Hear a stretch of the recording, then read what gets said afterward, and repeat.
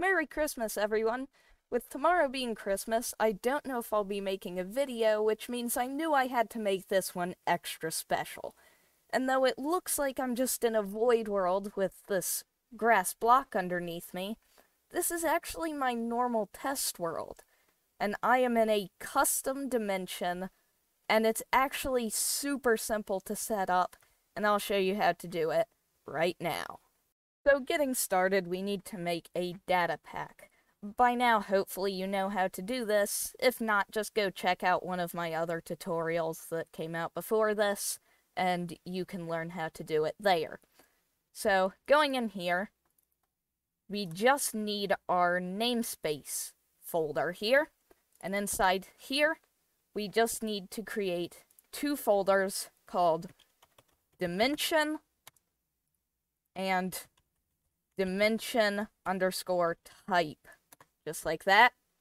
In both dimension and dimension type, you need to put a .json file, and I'm just going to call mine test. This name will affect your dimension, so make sure this is what you want it to be. But the other one can be called, like, whatever. We'll be referencing it in here, so just make sure you change it. Like usual, I'm going to be using Misode, and we're going to be using two generators, the Dimension Generator and the Dimension Type Generator. Let's start with Dimension Type. So, we have a few settings. We have Ultra Warm, which, like the Nether, water will evaporate and sponges will dry. We have Natural, which, if you tick this off, your compasses will spin. Piglin Safe, if this is set to false, piglins will turn into zombified piglins. Respawn anchor works, bed works, has raids, has skylight, ceiling, coordinate scale, this is like in the nether, one block to eight blocks in the overworld.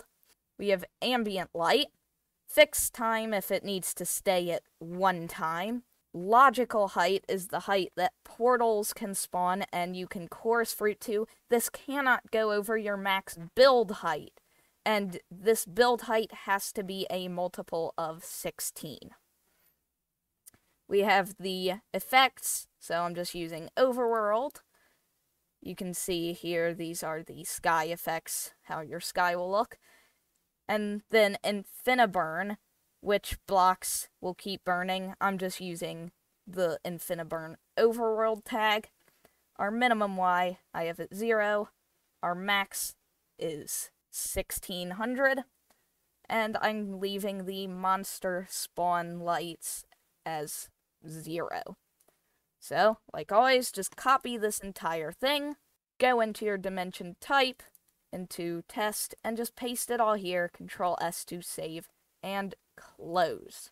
Now, remember what you've named this, because we'll need it for the next part.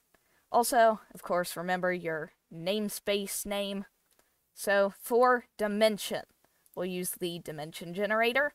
We need our namespace, colon, and then the name we used for our type. So, that's pretty important, otherwise this will not work. So I'm going to set this to default, so I'll put that in. Tutorial. Test. And then our type, I'm just using flat. Reload the settings. Biome, I'm going to make a void world. And just add a layer, height 0, block, air. Just copy this, paste it in here, Control S to save. And now, if we go into our world, it'll ask you if you know what you're doing. Just click I know what I'm doing. And then you should be able to do slash execute in, and you should see your dimension. So just run TP at S to 0, 100, 0, or something like that. And you should be in a void dimension. So, I hope this tutorial was helpful to you. If it was, I would really appreciate it if you would subscribe. I'm pretty new to the YouTube scene, and it would help me out a ton. Anyway, thank you for watching. Bye!